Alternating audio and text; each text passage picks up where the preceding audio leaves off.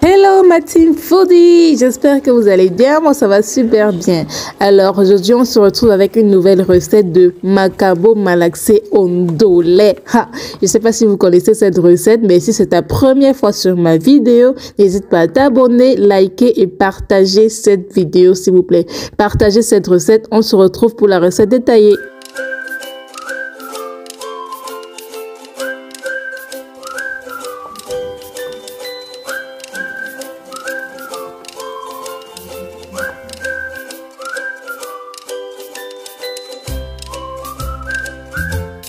Bon, on va d'abord mettre de l'huile de palme dans notre marmite. On va laisser chauffer un peu.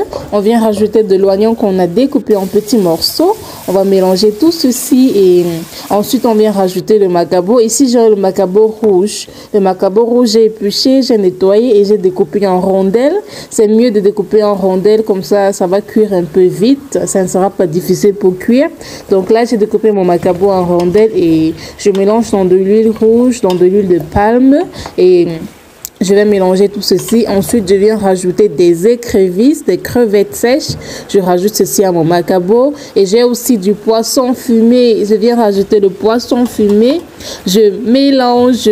N'hésitez pas à vous abonner si c'est votre première fois sur ma chaîne. Likez, commentez, partagez. Là, je rajoute un peu d'eau, une petite quantité nécessaire pour la cuisson. Je rajoute du sel. Je rajoute mon cube pour l'assaisonnement. Donc voilà, et je vais mélanger tout ceci.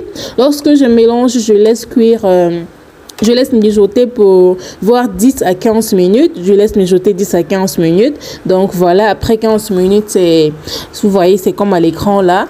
Et je viens rajouter mon doulet que j'ai lavé. Ici, j'ai le doulet, j'ai lavé. C'était du doulet sec mais j'ai lavé et voilà, je rajoute mon doulet dans, dans mon macabo et puis voilà, je mélange tout ceci. Je vais mélanger, laisser cuire encore 15 minutes. C'est une recette très facile. Dites-moi en commentaire si vous connaissez cette recette. C'est une recette camerounaise de l'Ouest, je pense.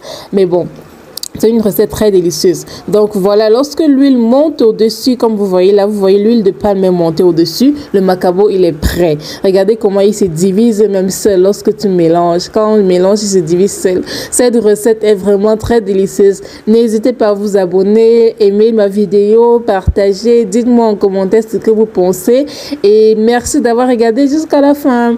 On se dit à très bientôt pour une nouvelle recette. Merci, portez-vous bien.